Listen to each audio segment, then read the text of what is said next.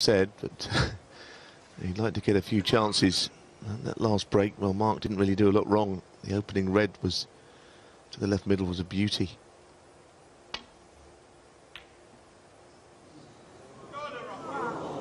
There are people that enjoy the stats out there. You mentioned one earlier, Clive, about as many centuries today, and which clearly has been surpassed, and there was in one of the, the championships of the past. But if you want to know how many centuries there's been, what's the record for six frames of snooker? How many centuries? Well, the answer is six, because uh, it happened in the qualifier last year. Kyren Wilson and Anthony Hamilton had six centuries between them in successive frames. But uh, this has been quite spellbinding tonight, hasn't it? Well, simply special.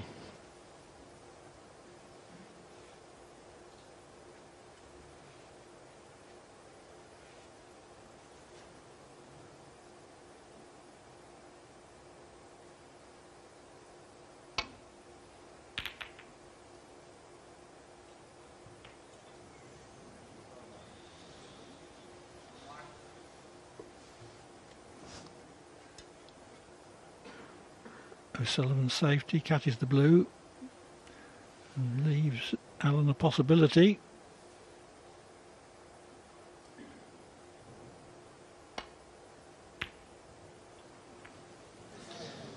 Uh, difficult shot the way he played it. He tried to put it and indeed cannon the two reds and finish on the black. I think the cannon was probably only on if the pot hit thick like that. And it certainly made it no easier One. that Allen has scored only seven points in the last three frames.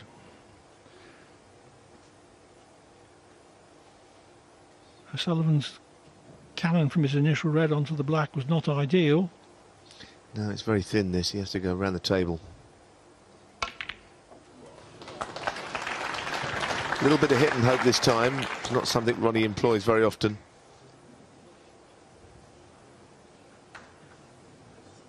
There may be something available Eight. to the left corner. And I think the black will go as well to the right corner. It's, it's not a simple shot. Uh, it's a little bit complicated over there. Little touch of side, right hand side on this. Swing the cue wider.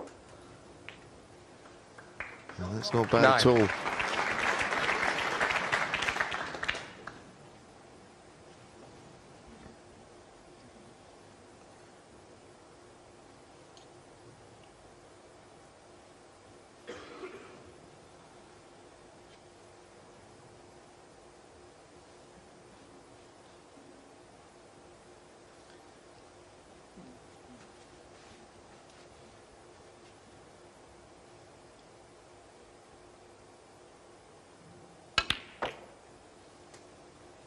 That's uh, uh, again a pretty good bust up of the pack. 16. But he's not on the red, I don't think, to the right corner. That's a rarity. Oh, the table is making even Ronnie O'Sullivan think here. Putting this red and getting onto the next colour is anything but easy.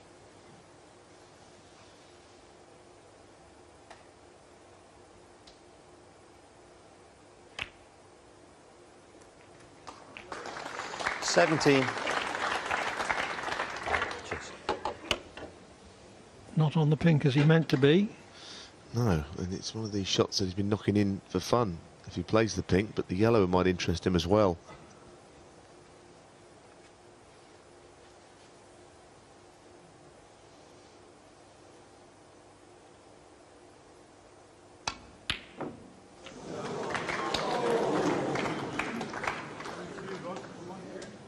Think he hit the green because the yellow didn't go in cleanly. It went in thick, so the cue ball didn't come round as he anticipated.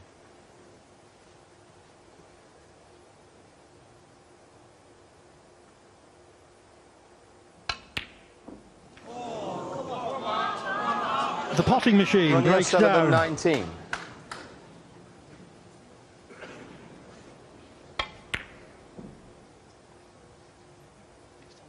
it comes as a shock to us all when it does when he's in this form. Probably a shock to Mark Allen, actually.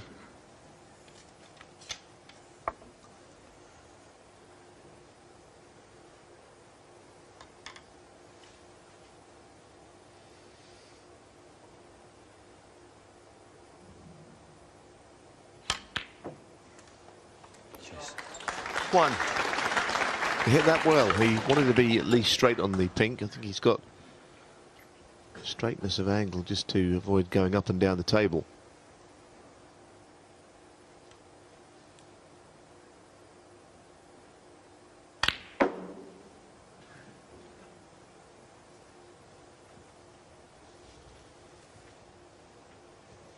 Seven.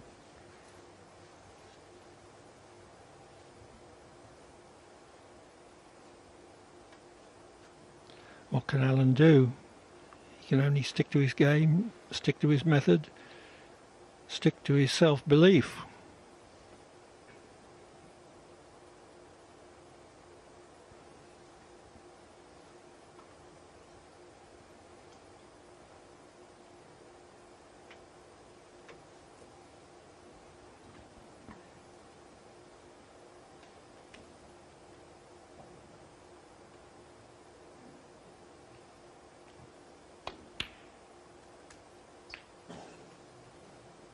8.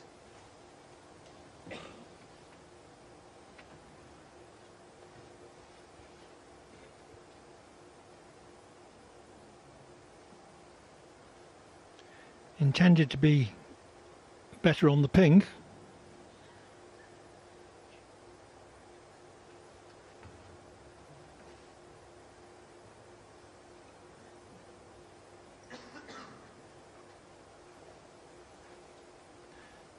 Thinking about potting the green cushion first.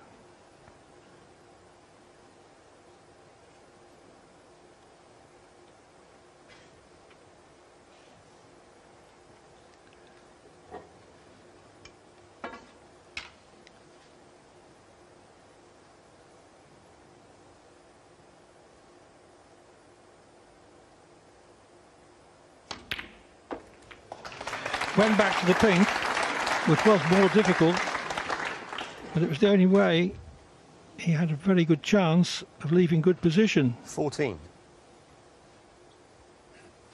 Yes, what he needs is an angle on here, and he has a slight angle to get up the table. 15.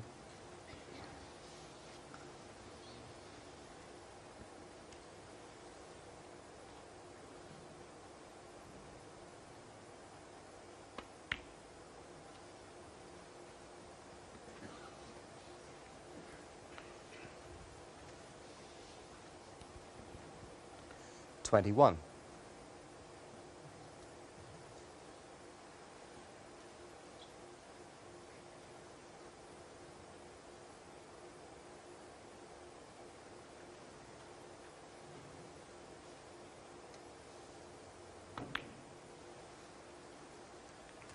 Twenty-two.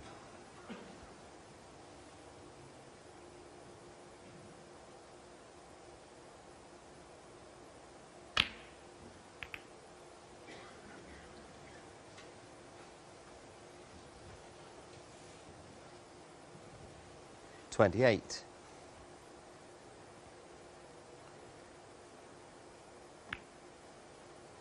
Twenty-nine. Building these up quite nicely now.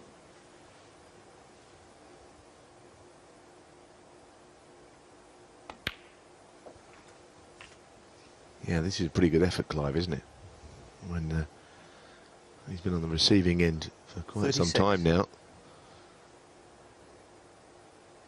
And they've not all been there. Thirty-seven. Is that to really think about this break. It's not enough yet, but it's still a good performance for me. Uh, That's a little bit of a shame. It will annoy him because the top bed of the two close together are- is potable, but he tried to develop on two others as well. Now you see the position. He could have got away from that red, he was on choice of two, especially the top one, I think. But now he really has to make sure that this contribution ends with a top-class safety shot.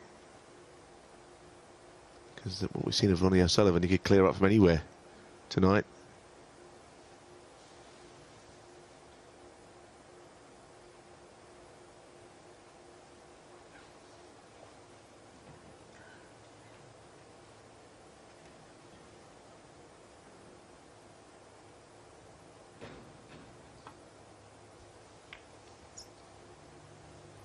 Mark Allen 44. To lead by 25.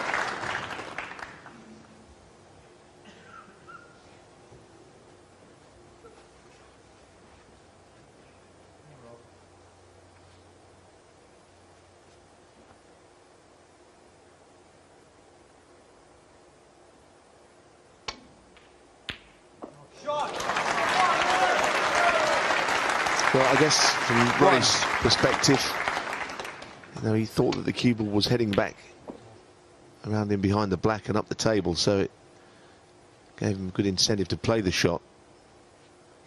Still a good one. This will be a good one as well on the blue. Oh, that's got the blue back on the spot.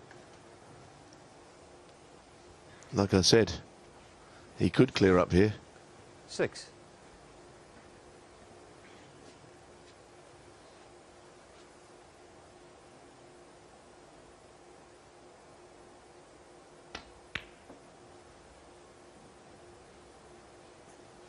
Seven. Uh, He didn't really play on the black. It only goes in half a pocket, so pink it is.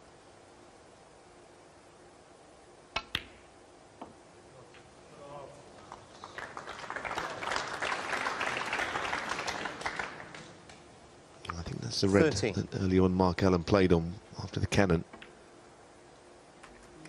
14.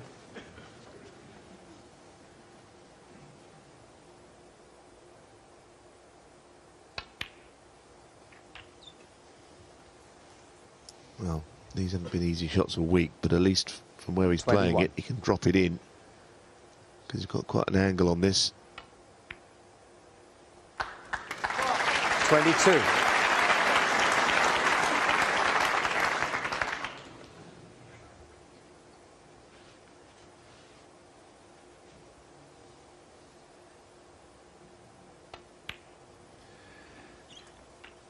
Gradually, the winning clearance is coming in sight. 29.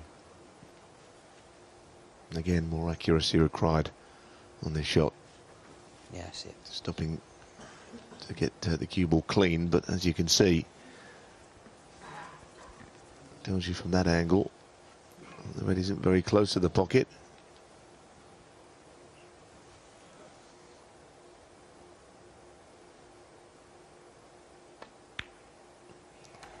Uh, Another 30. marvellous shot, and the angle is there to get up for the red.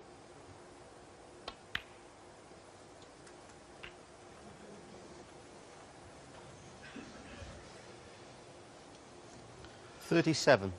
Well, he looks at the scores. 12 the difference. And it's really all about one shot now. And the two cushions up for the yellow, in behind the yellow. Well, he's really hit the zone tonight. Players can do that. Where they have a little spell where it- almost 45. mesmerised out there. But when O'Sullivan does it, it's something else. Forty-seven. This has been a consummate performance from O'Sullivan.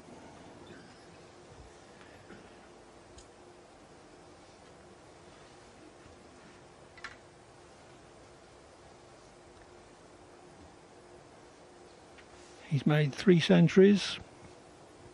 He's still trying to work out whether he needs brown as well as the green.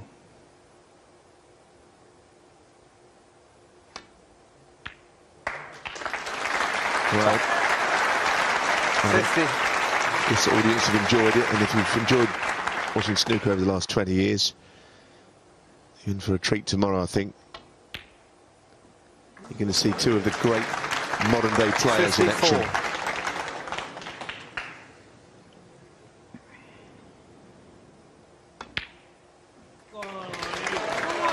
At his best, O'Sullivan is the best. And Friend of the tonight, he was at his best.